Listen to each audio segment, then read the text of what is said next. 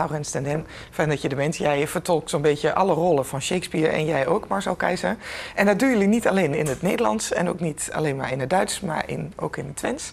En dat dan op een prachtig idyllische plek ergens op een boerderij. Op Twekkelo. Het Twekkelo. Waarom daar? Omdat we daar zo'n mooie boerderij hebben en zo'n mooie tuinen hebben. Een ideaal decor voor Shakespeare. En omdat, eh omdat eh, Jozef, dat is kunstenmakers, die komt hier uit Hengelo. Ja. En die is natuurlijk hier eerst gaan zoeken. Wij hebben het stuk vorig jaar, daarom kennen we elkaar ook, eh, in Rijnen bij Klooster Bendlaken Ah, dus toen hadden jullie een prachtige boerderij ergens in Duitsland? Ja, nee, nee, in Duitsland is dat eh, in, een, in een kloostertuin Oh. geweest. Wil je Eh, daarmee zeggen dat het daar eigenlijk nog ietsje mooier was dan in Twekkelo, of dat niet? Anders. eh, de tuin is, Ja. eh, ehm, ehm, wie heißt schöner jetzt? ja, mag mo- ook in Duits hoor, mooier, verstaan we wel. mooier, ja. Mooier, ja, Ja, precies. de tuin is mooier, maar de... Brody maar Duits, anders. Hey, Nederlands brood kan ik ook niet verstaan. Iedereen moet ook voor het eh, Shakespeare-stuk een beetje Duits en een beetje Nederlands en een beetje Twents kunnen. Kijk maar. U moet me helpen. Ik heb een plan. Zeg niemand dat ik een vrouw ben en help me aan mannenkleren.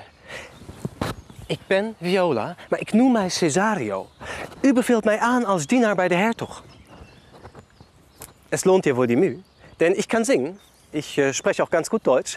Seid ihr zijn diener? Ben ik uw stomme? En wat ik me vraag, hoor ik mooi van de domme.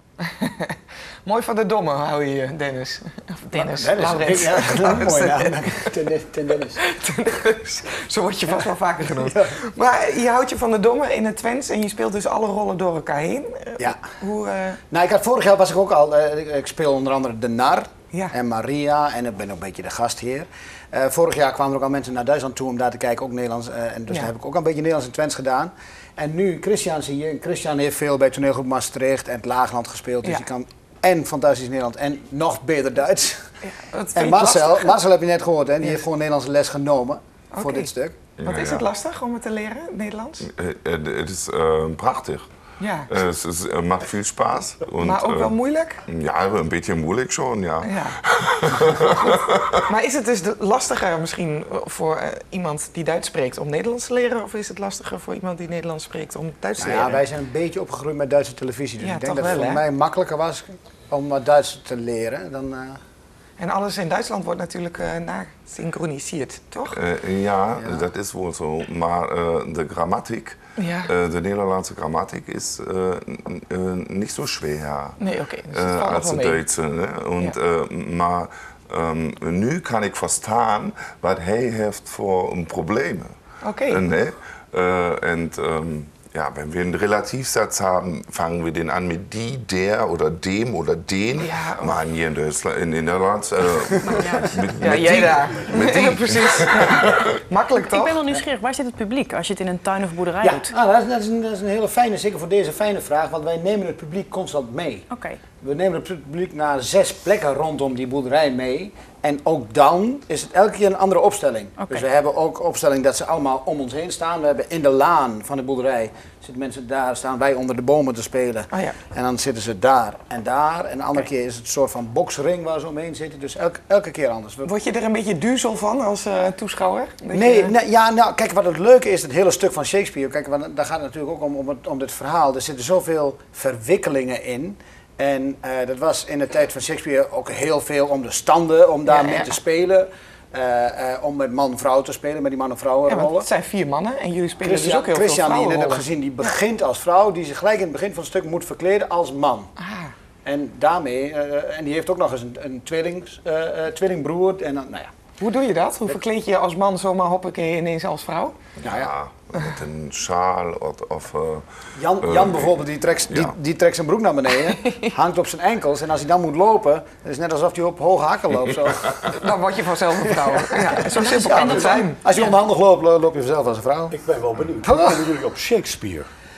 Omdat het vorig jaar bij Klooster Bendlagen is dat, eh, hebben ze echt gedacht, nou, een beetje eh barokke omgeving. Eh, laten we een, een, een barok stuk nemen.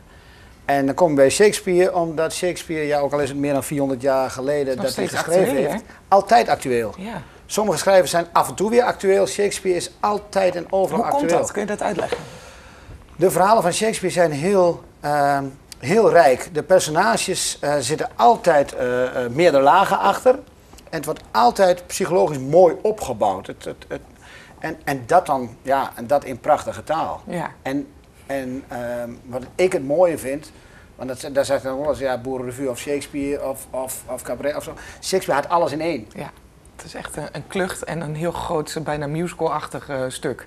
Nou, Ja. musical, we zingen wel, maar Ja. mu- musical niet. ook, Dat is dan het enige wat er niet is. Dat, dat, dat Ja, is er ook weer Voor de fijn rest aan. zit alles erin.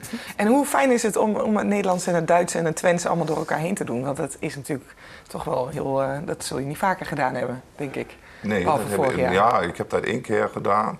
Eh, maar dat is eh, in 1996 Zo. geweest. Ja. Eh, daar ben ik hier in Enschede geweest eh, en in eh eh, ganz eh, Nederlanden met de Circus Krone. Oh ja. En ja. heb daar, maar daar waren niet eh, zoveel, eh, het de witte clown? ja, als de witte clown. Ehm, maar dat was een, een kwartier of een uur. Ja. Eh, en niet twee, eh, Niet twee uur niet lang. twee uur lang. nee. Maar hoe belangrijk is het om het te doen? Want het is natuurlijk een soort grensoverschrijdend eh, project, wat ook... Ja, ik vind het heel fijn. Ik heb al meerdere van die projecten gedaan. Het is heel fijn. We, we zitten hier vaak zo met de, met de rug, Met de rug naar. Duitsland toe. Ja. En eh, ja, in een atlas is het een lijntje, maar ja, als je je fiets zie je dat lijntje niet. In cultuur af en toe wel. Nee. Maar het is, het is, het is raar Het is zo om maar zo te, zo te staan ja. en niet af en toe wat te doen. Nou, dat, Ja.